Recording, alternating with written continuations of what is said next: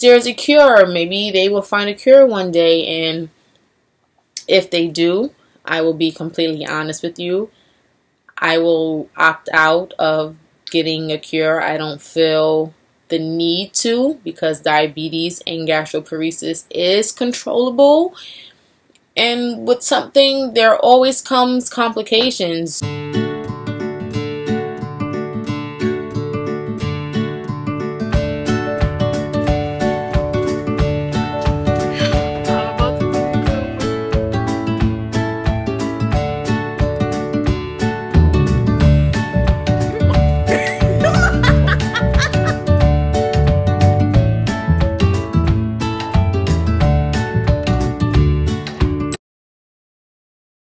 Hey guys, welcome back to my channel. You can tell from the thumbnail, I will be talking about my life with gastroparesis. I have already done a video, well two videos, life before gastroparesis, life after gastroparesis, and now life with gastroparesis. I am happy, I am at peace with both of my conditions. Before being diagnosed with gastroparesis, I was diagnosed with gastritis.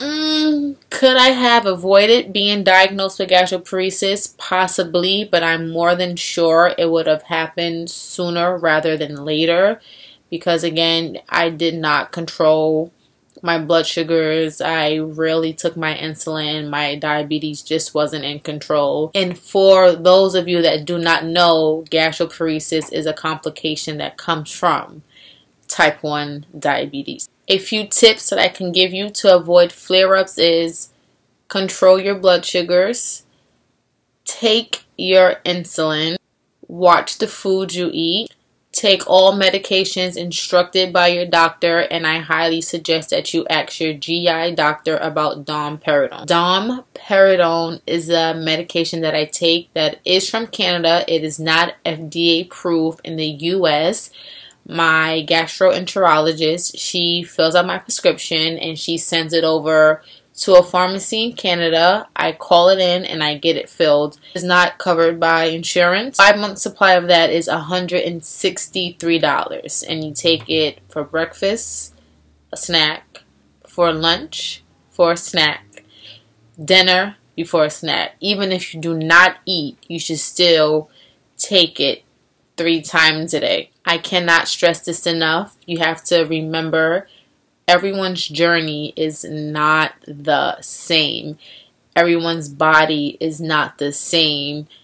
We all may have diabetes, we all may have gastroparesis, but we are not the same. You may be able to eat some things that you can't eat, vice versa. You may be able to eat some things that I can't. Like, for instance, I can't eat grapes. You might be able to eat grapes. I can't eat bananas. They make me extremely nauseous. You may be able to eat bananas.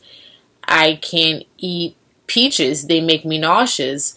But the weird thing about grapes is I can't eat grapes, but my body only tolerates grape juice when my blood sugar is low. So everything is different. Everyone is different. It's not all the same. It's really about trial and error. I don't don't starve yourself. How else would you know what can your body tolerate? And that's when the three time rule comes in. You eat something three times, you vomit, just eliminate it from your diet. Last July made three years with my gastric pacemaker, and I was very skeptical about doing that, but that's another whole video. I can say that it has played a significant role in my life in this journey so far. Another milestone that I am celebrating is September 9th will be my one year anniversary of being out of the hospital.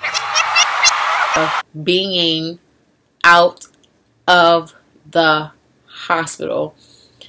I'm so happy. Help of my mother, my doctors. It's just, it feels good. Being diagnosed with gastroparesis, I was frequently in the hospital every other day. Some days I was staying there for days and weeks.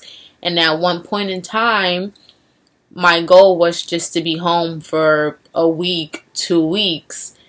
And then I started doing a month, two months, three months, four months.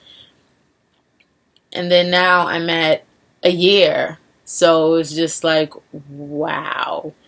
God is good. My support team is good. My doctors are excellent. My doctors are amazing. They are heaven sent. We also made it our business, we, as in my mom, my doctors, to figure out what is sending me back to the hospital. Some days I would eat an apple, and then maybe two hours later, I'm vomiting crazy. And three hours after that, I'm in the hospital. Then my mom, she set an appointment with my GI nutritionist and she was like, you know, after being discharged and everything, she said, How about you try eating an apple without the skin? Try eating potatoes without the skin. Try eating cucumbers without the skin.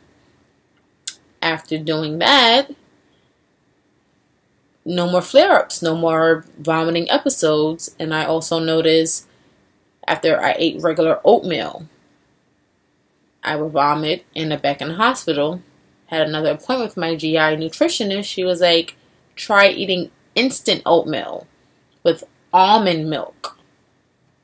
No whole milk with almond milk. And then try that. And it worked for me. And it started flowing. So you just have to know the ins and outs. Like I said, do not starve yourself. How else would you know what's going to work for your body. But I'll do another video on the foods that I eat. As for my blood sugars, my blood sugars took a while to be in control. My It was literally like when I had my Dexcom, you would just see go up, down, up, down, up, down. And it just took a while for my blood sugars to be in control. If it wasn't low, LO, low, it was HI, high. There was like no in between and I was so skinny to the point that I only I was only taking three units of Lantus.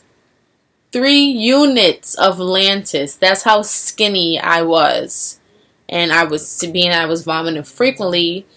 I was always dropping and dropping and dropping. My mom went through several gone pens because that's how low I drop. Life with diabetes and gastroparesis is not bad. It's not the end of the world. You can live with it. You can live your life. As I said before, you can live the life that you deserve. You can be happy and healthy. You just have to live your life with responsibility. Don't be in denial. Accept the fact that these are lifelong conditions, lifelong friends that you're going to have for the rest of your life. Yes, there's a cure. Maybe they will find a cure one day. And if they do, I will be completely honest with you. I will opt out of getting a cure. I don't feel the need to because diabetes and gastroparesis is controllable. And with something, there always comes complications they they cure my diabetes. Next thing you know, I'm taking 50 to 70 pills a day to keep it, my liver and lungs and all that. I'm not. No, I'm good. I'm good. Let me take my insulin. Let me take my domperidone. Let me watch the foods I eat. I don't need you to cure my diabetes or my my stomach. I'm I'm happy. Uh, it, it's okay. You only have the mentality that gastroparesis and diabetes is bad when you claim negativity. When you claim negativity, that's what it's going to be. If you want positive, you have to claim positive. All paths and journeys are unique. You you may see me up, happy, healthy, but there are still days that I have episodes when I'm really nauseous. When I'm nauseous, I stay to myself. I don't want to put that negative energy on anyone else. Take the medications as necessary. I don't want this to be such a long video, so I'm going to end this video with a prayer. And I, I pray for my gastro warriors. I pray for the world every day. It just so I'm, I'm going to pray. Father God, I ask that you continue to bless us, strengthen us, give us motivation, courage, release all toxic energy from this earth, protect us from all evil.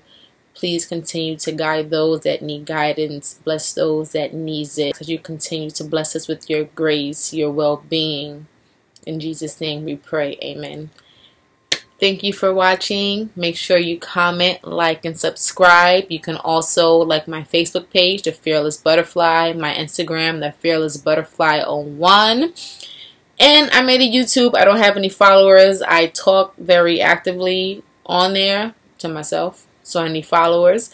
Fearless B01. Again, Fearless B01 is my Twitter. Bye, guys.